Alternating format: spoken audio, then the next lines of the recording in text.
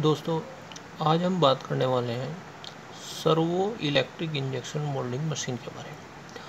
दोस्तों, किसी भी मशीन का मूव चलाने के लिए दो तरीके का मूवमेंट चाहिए। लीनियर और round movement round movement charging के लिए चाहिए और लीनियर चाहिए मोल्ड क्लोजिंग इजेक्टर के लिए, इंजेक्शन के लिए।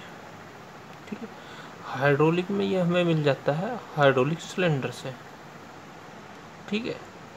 और जो सर्वो इलेक्ट्रिकल इंजेक्शन मोल्डिंग मशीनें हैं, उनमें मिलेगा हमें इस सिद्धांत से। ठीक है?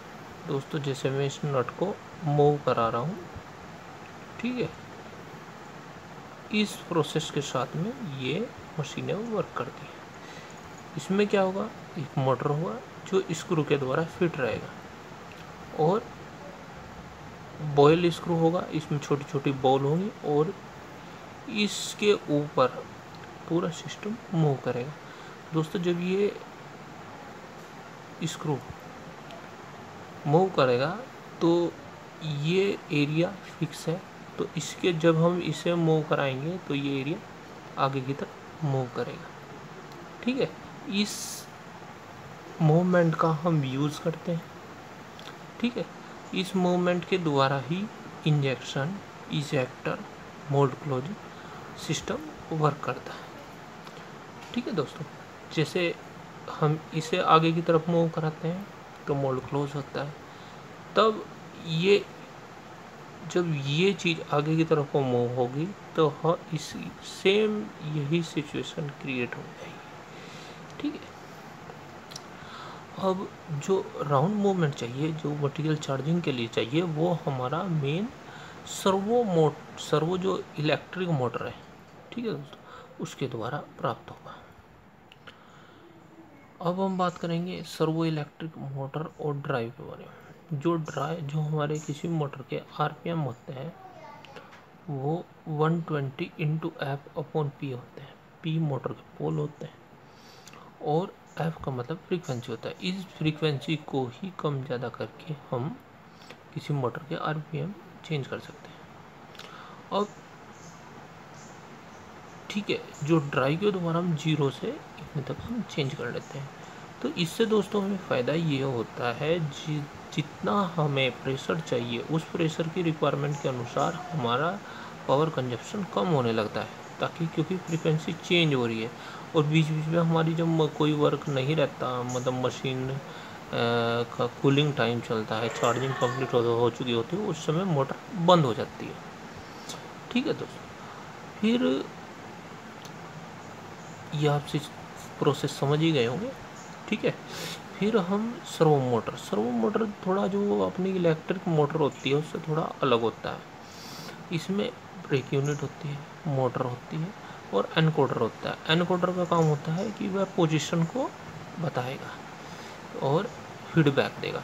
तो, तो क्योंकि इससे ही इस एनकोडर के थ्रू ही हम क्या कर सकते हैं और ब्रेक के थ्रू ही हम इसकी स्पीड पर कंट्रोल कर सकते हैं। ठीक है दोस्तों? ये थोड़ा इलेक्ट्रिक मोटर से थोड़ा अलग होती है।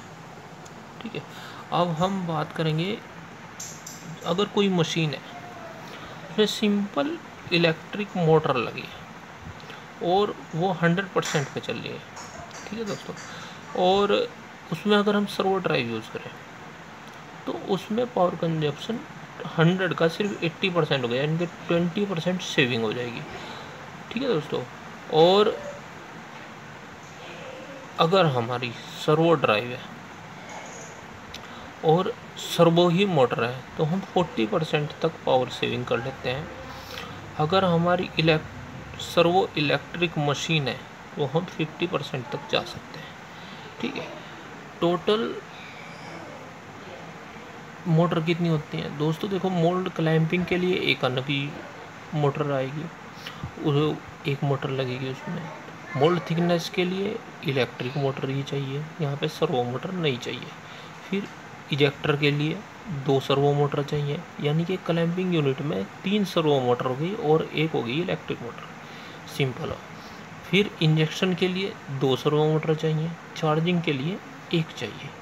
ठीक है दोस्तों, इंजेक्शन यूनिट के लिए एक मोट सर्वो मोटर चाहिए और हाइड्रोलिक, जैसे कि कोर चलाने होंगे मोल्ड में किसी भी होल को ओपन करने के लिए तो एक लगेगी। इसमें टोटल नाइन मोटर होंगी, जिनमें से दो इलेक्ट्रिक मोटर होंगी सिंपल वाली, और इनमें सात सर्वो मोटर होंगी। दोस्तों क्लैंपिंग की और जो चार्जिंग की मोटर हैं, वो थोड़ा बड़ी होती हैं बाकी मोटर से।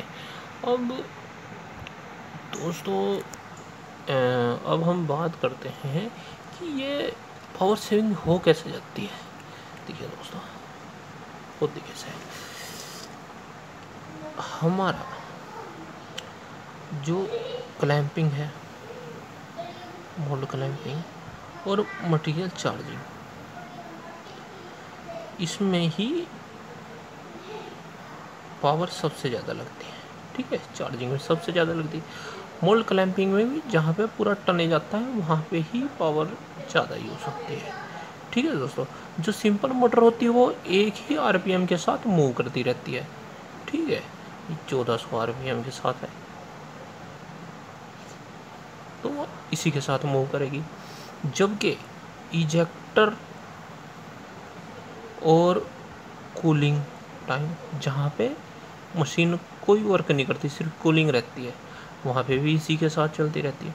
लेकिन जब हमारा सर्वो ड्राइव हो जाता है तो जो हमारा कूलिंग टाइम चलता रहता है, इसमें मोटर ऑफ़ हो जाती है। और इजेक्टर के समय इसके आरपीएम कम होने लगेंगे, यानी कि 60 आरपीएम तो यहाँ पे अगर हम सर्वो ड्राइव सर्वो मोटर लगाते हैं, तब हम पावर को सेव करने लगते हैं। ठीक है दोस्तों? ये आपको काफ़ी समझ में आ गया और मेरा वीडियो काफ़ी अच्छा लगा होगा ठीक है दोस्तों?